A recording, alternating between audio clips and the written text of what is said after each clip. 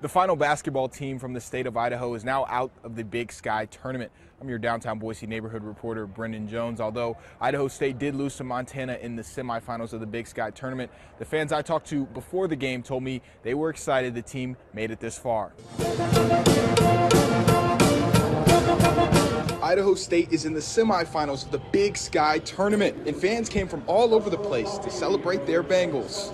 This morning from Oakland and Boise, both ways. I caught up with these three friends as the Bengals were warming up. Go Bengals! Go Bengals! Go Bengals!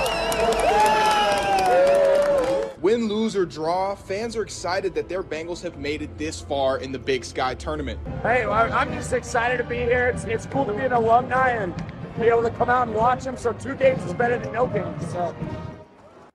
Wednesday will be the championship games for both the men's and the women's Big Sky tournament. Northern Arizona will play Eastern Washington for the women's championship, and Montana will play Montana State for the men's championship, a Montana matchup, some might say. For more coverage, you can watch Boise 6 or Twin Falls 6, our digital dot two channels. Visit our website, Idaho News 6, for more information.